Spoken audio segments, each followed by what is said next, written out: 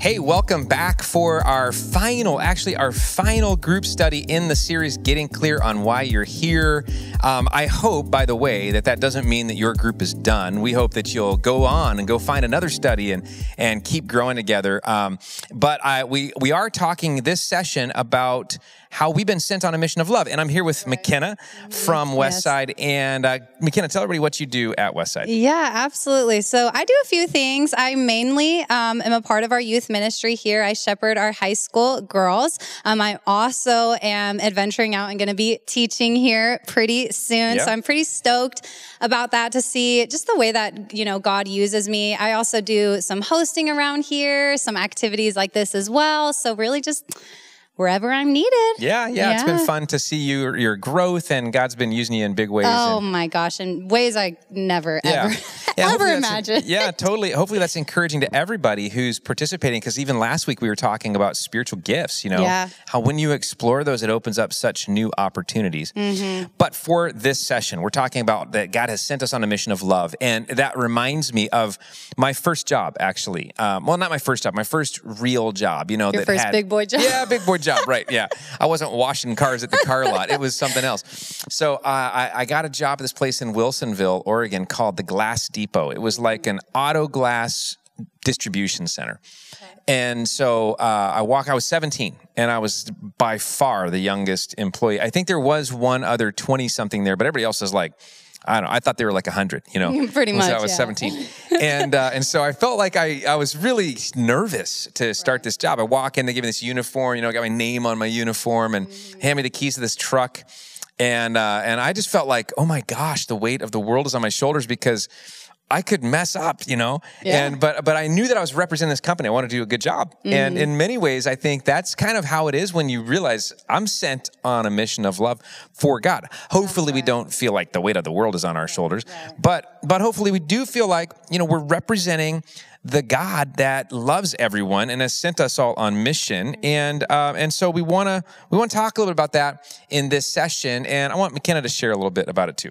Yeah, absolutely. So um, I actually would like to to share some scripture with you guys. So I'm going to be reading out of um, Acts one. Uh, Six through eight. So it goes So when the apostles were with Jesus, they kept asking him, Lord, had the time come for you to free Israel and restore our kingdom? He replied, The Father alone has the authority to set those dates and times, and they are not for you to know.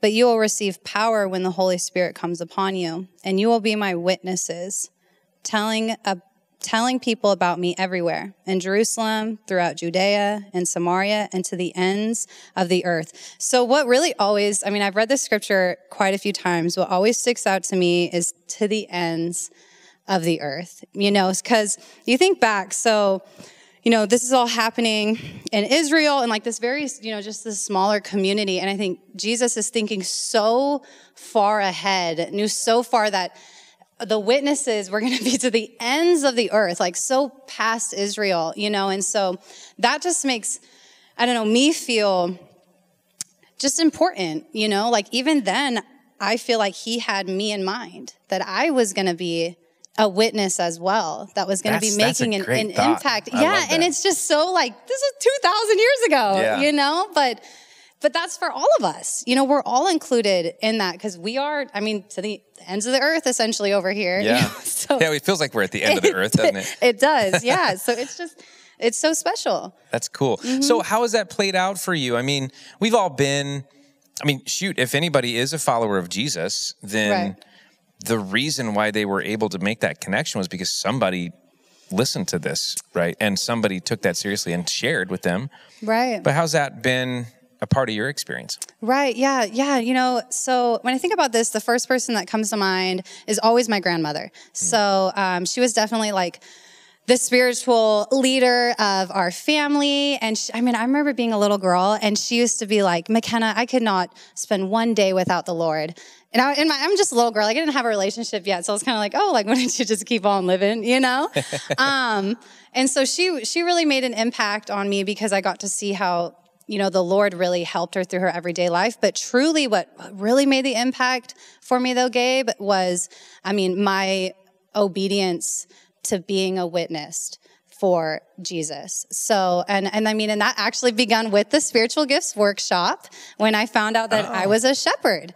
Okay. And um, I, you know, I wanted to, I wanted to use those gifts. I, I knew that I had something to offer, and so I started, you know, shepherding with the kids and started sharing my experiences with the kids. And I cannot, I mean, the fruit that has come from that is just like incredible. Our youth ministry has just been soaring off. I think already this year we've had I think 20 students be baptized. Yeah, you yeah, know, yeah, we're over our COVID numbers, and it all started with like me, you know, um, being a witness and sharing my experiences, but also the other, you know, youth leaders in our ministry as well. So, yeah, really, it was came down to my, I guess, devotion to being a witness. Yeah, that's fantastic. Yeah. I mean, I think uh, when you when you feel that tap on the shoulder to have you know it, it, really all all comes down to conversations and demonstrations exactly you know where it's like i'm gonna share the love of god with my words and with my deeds That's you know right. and um, and i think it can't be either or that's one of the things that we've been convinced about here at westside is that especially in a city in an environment that is a little jaded about right. faith you right. know mm-hmm. um, it's important that we don't just have words because if we mm. don't have deeds to back up those words, it's very empty. It, but it, yeah. on the flip side, if we only have deeds and we don't have words, um, sometimes people don't know what we actually represent, you know? Yeah, or and why so, we do what we why do. Why we do what we do. You know, or what is it that makes us do what we do? Yeah. I think is the biggest thing. Totally. Mm-hmm. Yeah. So I would love to hear your thoughts on, um, you know, let's say let's say everybody that's in group and everybody at Westside and and maybe even some other churches, we all just get all serious about this and we're like, you know what? I'm I'm gonna do it. I'm gonna be on mission. I'm gonna be sent on a mission of love. I'm gonna use my testimony. I'm gonna I'm gonna I'm, I'm gonna pray for my friends, family, coworkers, neighbors. I mean, I'm gonna go for it. Yeah. And really see what God would do. What do you think would happen?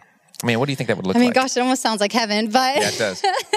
but um, I guess you know when you're when you're saying this, um, what really comes to me is just, you know, being that light. So I think of myself, like, you know, kind of like this candle, I think of myself and, um, you know, I'm, I'm filled with the light of the Lord because I'm, I'm so connected with him and I've had so many experiences, you know, experiences with him. And then I think about, you know, going out into, to the, you know, kind of the darkness of our world and, you know, I just kind of imagine seeing like a friend or a family member, and you can see that their light is dim. And I just imagine myself going up to them and saying, Hey, friend, like my light used to be very, very dim. And um, this is what fueled my light, and this is what turned things around for me. And hey, that was Jesus. And I think maybe Jesus could do that for you too. And then start just sharing my experience with them and fueling into their light. And now they're a bright light as well with me too. And now this person, because Jesus has made such a tangible difference in their life, decides, hey, I want to go out and find a light too, or a dim light, and then brings another person in, and you know, so on and so forth. Eventually, we're this huge beacon of hope this huge beacon of light in our community, in our city, in our state, in our country, in our world. And all of us are saying, hey, Jesus is the one who did this for me and he can do this for you too. So yeah it's a beautiful picture. what a way to what a way to launch into this group discussion is to think about what would change right. maybe even in not the whole world your world mm-hmm. if that happened. That could be absolutely amazing. So have a great discussion. Thank you mckenna for absolutely. joining me here. Hope you guys have a good time. Bye y'all